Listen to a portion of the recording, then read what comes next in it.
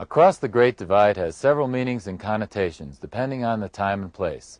But when you're standing at the Bear Lake Trailhead, it means only one thing a great adventure hike across Rocky Mountain National Park. And today we're going to join Lisa Foster on a hike across the Great Divide. We're also going to take the EPTV crew, including Brian Biggs and my wife Mary Beth. Now let's go over and talk to Lisa and see what's happening. Hi, Lisa. Hi, Nick. Today we'll be hiking from Bear Lake to the North Inlet Trailhead near Grand Lake. The distance we'll be covering is about 17 and a half miles. Early morning departures from Bear Lake have a mystique all their own. There are several trailheads located at Bear Lake, so the earlier the better. The crowds haven't arrived yet, and the wildlife remains pleasantly indifferent.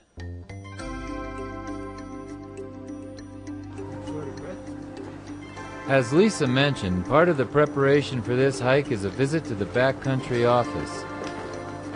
The fee for a permit is put to good use preserving this environment.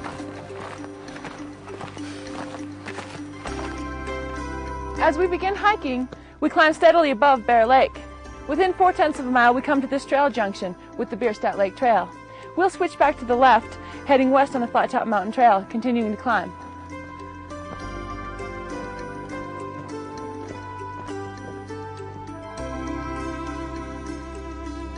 Just past the first junction, we get a good view of the valley, Long's Peak, the Keyboard of the Winds, Pagoda Peak,